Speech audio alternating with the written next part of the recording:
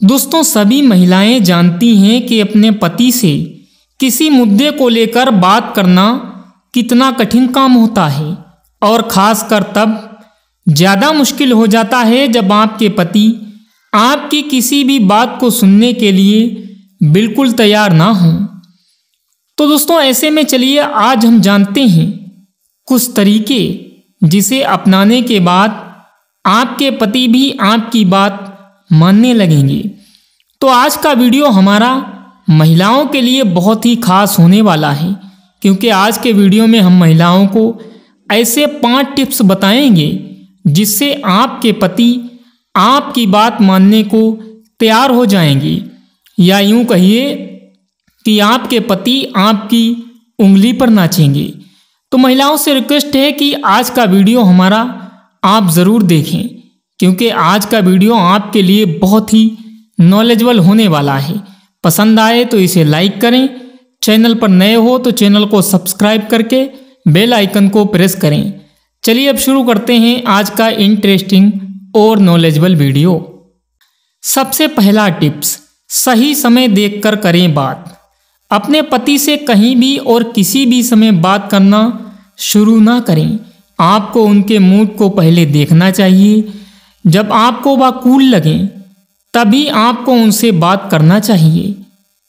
आपको अपने पति के साथ बातचीत शुरू करने के लिए उपयुक्त समय और स्थान की तलाश करनी चाहिए।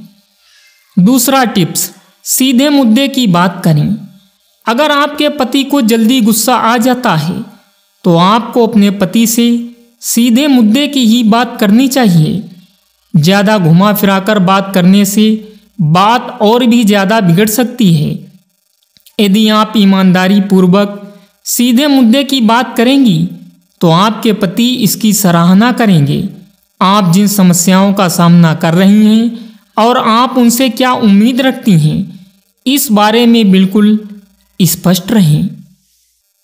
अगला टिप्स है आवाज़ की टोन को ऊपर ना करें। अगर आप उनसे बात कर रहे हैं तो ख्याल रहे कि आपकी आवाज़ का टोन ऊपर ना हो। ऐसा होने से बात और भी ज़्यादा बिगड़ सकती है।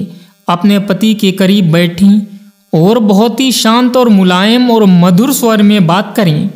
जैसा कि आप आम तौर पर शांतिपूर्वक करती हैं, इससे उनका रवैया आपके प्रति थोड़ा सॉफ्ट रहेगा।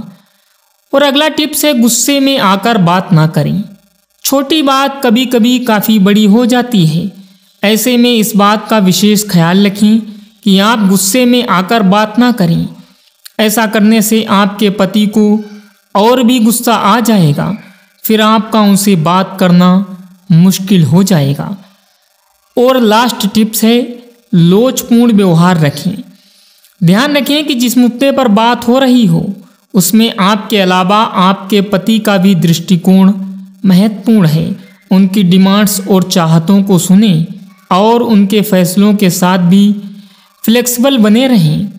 केवल अपनी ज़रूरतों को थोपना सेल्फ फ़िश है, ऐसा कभी भी नहीं करना चाहिए। तो ये था आज का हमारा वीडियो, जिसमें हमने स्त्रियों को बहुत ही महत्वपूर्ण टिप्स दिए। उम्मीद करता हूँ आज की जानकारी आपको पसंद ज़रूर आई होगी।